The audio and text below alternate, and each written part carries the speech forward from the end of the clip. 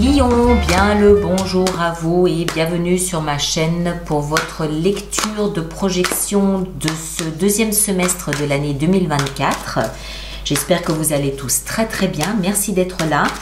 Alors, on va faire cette lecture ben, comme euh, la projection du premier semestre, c'est-à-dire sous la forme d'une croix. Après, on va sortir des arcanes majeures représentant chacun des mois depuis le mois de juillet jusqu'au mois de décembre 2024 représenteront l'énergie influente de l'extérieur. Et en fin de lecture, on va préparer euh, notre extension de cette lecture que vous trouverez comme d'habitude dans la boutique alistirennicolas.com dans les hors-séries.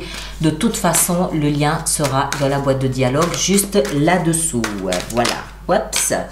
Alors, on commence. Au cœur de votre prochain semestre, au cœur de votre lecture, vous avez le magicien. Il y a pire hein, pour commencer, hein, je crois, entre nous. Arcane majeur, déjà, donc énergie forte, puissante. Le magicien, il porte le chiffre 1, donc nouveau cycle, nouveau départ. Hein, là, prochain semestre. Le magicien, il a sur sa table ici tous les outils dont il a besoin pour prendre le nouveau départ qu'il ambitionne de prendre. Il a les coupes, il a les épées, il a les bâtons, il a les deniers. Il a tout ce qu'il faut. Chiffre 1, il sait ce qu'il veut, il sait où il va, il sait comment il va, il sait pourquoi. Abracadabra, boum, on y va. D'accord? Donc il y, a une, il y, a une, notion durant ce deuxième semestre de l'année 2024, une notion ici de j'ai la foi, j'y crois, je sais ce que je veux, j'ai tous les outils qu'il faut pour y arriver, bingo, on y va euh, à fond et ça va marcher. D'accord? Quel que soit le domaine, hein. ça peut être professionnel, sentimental, euh, euh, ça peut être une formation, ça peut être l'achat d'une maison, je ne sais pas. On continue. Ici, c'est l'espace de votre tête. Alors, qu'avez-vous en tête? À quoi pensez-vous durant ce deuxième semestre? Oh, Punaise L'as de bâton. As, chiffre 1, nouveau départ. Bâton, c'est enthousiaste, c'est dynamique, c'est plein d'énergie, c'est euh, fougueux, euh, c'est la vitalité, euh, c'est le feu, c'est les signes de feu. Vous êtes lion, signe de feu. Voilà. Donc c'est vraiment, regardez, cette main qui sort là du nuage, c'est un peu comme si euh, dans la tête, il y a une idée qui émerge ou quelque chose, une envie, un désir qui émerge. Boum, je vais faire ça. Ah ben, ça tombe bien, j'ai tous les outils qu'il faut pour le faire. En plus, j'en ai envie, on y va, euh, c'est parfait. Punaise, c'est dynamique. Hein Ici en bas, on a le socle. C'est ce sur quoi vous allez pouvoir vous appuyer ce deuxième semestre pour le développer. Alors, on reprend notre paquet. Qu'est-ce qu'on a dans le socle? Ah 5 de bâton. Encore du bâton, soit dit en passant. 5 de bâton, alors, c'est un déséquilibre. C'est un déséquilibre dans l'énergie. Ça veut dire que elle représente cette carte, elle représente les conflits. Elle représente le défi, elle représente la concurrence. Elle représente euh, tout ce qui n'est pas harmonieux et qui vient m'embêter sur mon chemin, sur mon parcours, sur, ma vision de comment je vais développer ma vie. C'est le caillou dans la chaussure. D'accord? Donc on argumente, on discute, on essaie de trouver des accords, euh, on, bouscule, on envoie bouler. Euh, on, voilà, c'est un peu ça la 5 de, de bâton. C'est conflictuel, c'est pas harmonieux du tout, c'est conflictuel. Il y a de la concurrence, il y a du défi à relever, il y a des échanges de noms d'oiseaux. Euh, voilà. Et ça, c'est le socle. Mais en même temps, c'est peut-être aussi ce qui va vous booster parce que le socle, c'est ce qui vous porte. Donc peut-être que de savoir qu'il y a un concurrent à côté de vous là qui avance tout aussi vite que vous, ça va peut-être vous booster et vous permettre ici d'avancer plus vite. De là d'où on vient, c'est-à-dire a priori le premier semestre de cette année, on vient de la 7 de denier. On a travaillé, travaillé, travaillé, travaillé, travaillé, sans relâche, sans lever la tête de son ouvrage. À quoi à quelque chose qu'on valorise. Ça peut être le boulot, ça peut être pour avoir plus d'argent, ça peut être pour acquérir des compétences, ça peut être pour euh, gagner le cœur de quelqu'un, ça peut être pour avoir une meilleure image de soi-même, ça peut être de la thérapie, je ne sais pas. Mais vous avez beaucoup œuvré à améliorer la valeur que vous vous donnez, que vous vous octroyez.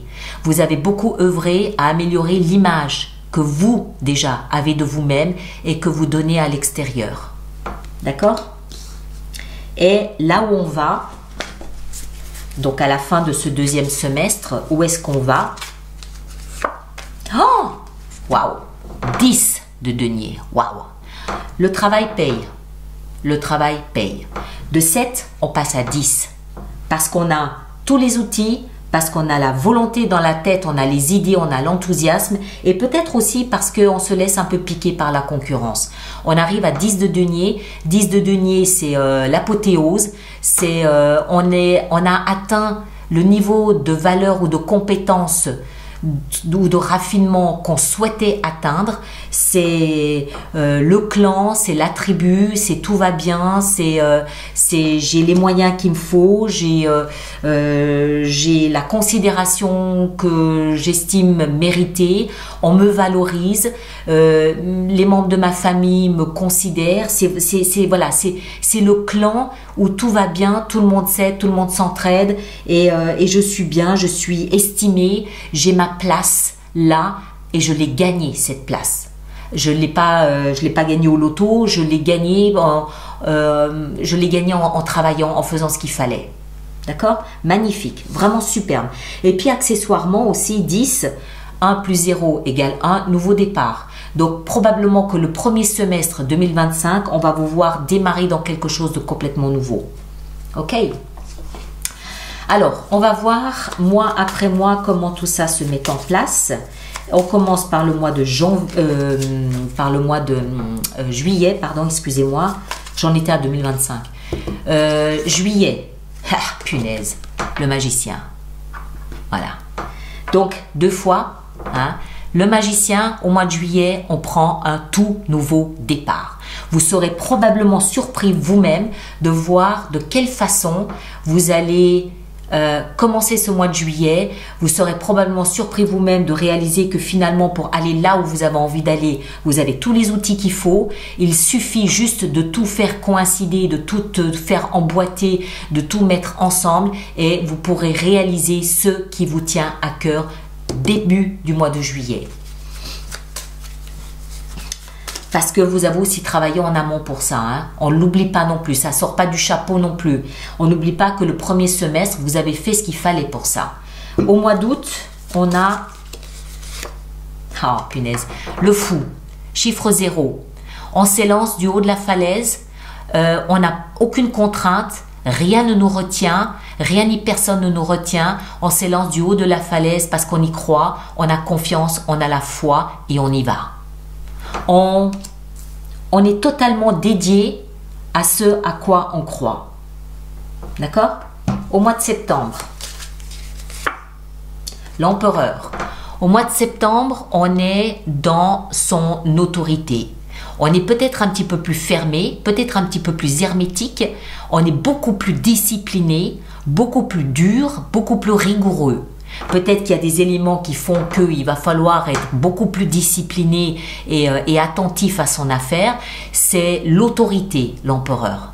D'accord? Ça peut aussi être une autorité extérieure qui vient vous influencer, qui vient vous impacter hein, au mois de septembre. On verra ça quand on fera le mois de septembre. Le mois d'octobre, la lune. Alors, le mois d'octobre va nous voir probablement influencer, impacter ou évoluer dans nos émotions. Pardon, dans nos émotions. La lune représente tout ce qui est... La lune, c'est quoi? La lune n'existe que quand le soleil est en face d'elle pour la faire briller. Sinon, le reste du temps, elle est dans l'obscurité. Donc la lune représente tout ce qui est caché, aux yeux des autres. C'est notre univers intérieur, c'est nos émotions, c'est nos pensées, c'est tout ce qui se passe à l'intérieur de soi. Ces pensées, euh, on pense à ça, on pense, c'est ces moments qu'on prend pour soi avec soi-même. Et visiblement, au mois d'octobre, ça peut être important, c'est du moins l'influence de l'extérieur qu'on aura au mois d'octobre. Au mois de novembre, le diable. Le diable vient nous rappeler qu'on a un fil à la patte. Le diable, c'est la piqûre de rappel qu'on n'est pas totalement libéré de quelque chose. Il y a un domaine, un sujet dans lequel ou pour lequel on est encore soumis, on a encore des comptes à rendre. Ça peut être une notion aussi d'addiction à quelque chose, à une personne ou à une substance. Euh, c'est le fil à la patte. Et la vie vient vous rappeler que ce domaine-là, il faut se libérer de ça si on veut, pouvoir aller là où on a envie d'aller. D'accord? Et au mois de décembre, l'ermite, le sage, l'expérience, la profondeur intérieure. L'ermite, c'est celui qui sait. Il a la lumière avec lui, il n'a pas peur, il connaît la nature humaine, il connaît le principe de la vie, il sait où il va, il sait d'où il vient, il est, c'est le sage. Donc au mois de décembre, je pense que cette énergie nous explique que vous aurez... Pardon, excusez-moi. Au mois de décembre, cette énergie nous explique que vous aurez probablement compris le message du parcours que vous êtes en train de suivre ici durant le deuxième semestre.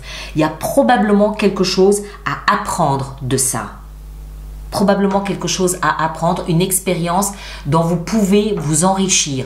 Et c'est probablement au mois de décembre que ça va être percutant, que ça va être pertinent, où vous allez pouvoir vous dire, oui, ok, j'ai fait ça, j'ai fait ça, j'ai fait ça. Euh, en attendant, bon, ça c'était peut-être pas facile à traverser, en attendant, ça m'a enrichi. D'accord? Je le vois comme ça. On le saura plus euh, peut-être durant l'extension, on va voir. Alors, on va préparer maintenant notre extension. Donc je rappelle pour tous ceux pour qui cette lecture fait résonance qu'il existe une extension qui se trouve dans la boutique alistireniccolas.com dans les hors-séries. Et le lien est juste là-dessous de la boîte de dialogue. Avec notre magicien, ici au milieu de votre lecture et au milieu de votre semestre, on a les amants. Les amants nous parlent de quelque chose ou de quelqu'un qui vibre sur la même fréquence que nous que notre cœur à nous.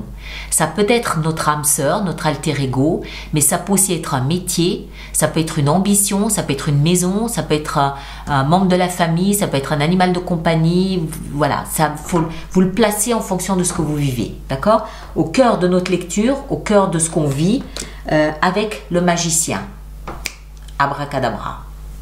On en rajoutera peut-être, euh, on en rajoutera probablement une là-dessus durant l'extension. Ici en haut, l'as d'épée. Dans la pensée, on a le chevalier d'épée. Ah, c'est intéressant. Toutes ces pensées qui fusent dans notre tête, le chevalier d'épée, ici, il vient couper, trancher. Ça je veux, ça je veux pas. Ça je garde, ça je laisse. Euh, vous voyez, le chevalier d'épée, il a son épée comme Zoro et il vient couper, trancher net tout ce qu'on veut pas et tout ce qu'on garde. En bas ici, la 5 de bâton et euh, ses conflits, on a le chevalier de coupe. On va tenir compte de nos émotions, de ce qu'on aime, de ce qu'on veut, là, dans le socle. Ici, de là d'où on vient avec cette 7 de denier, qu'est-ce qu'on a? L'empereur. On a peut-être été un petit peu rigide dans le passé, un peu dur dans notre façon d'aborder le travail. Hein, C'était peut-être un petit peu raide. Et là où on va, ah 5 de denier. Tiens, c'est étonnant ça. C'est exactement la moitié. Et autant la 10 nous parle d'abondance que la 5 nous parle de manque. On verra, on en rajoutera là aussi. Hein? Ok Alors, mes chers, euh, je vous invite à laisser vos commentaires sur YouTube pour les autres personnes du signe ou ascendant en lion. Je vous invite également à aller voir vos autres signes. Vous faites une synthèse des trois, vous aurez une lecture beaucoup plus personnalisée. Et puis, ceux qui me rejoignent pour l'extension, le lien est juste là-dessous. On en rajoutera 3-4 et je vous sortirai encore un oracle pour clore la lecture.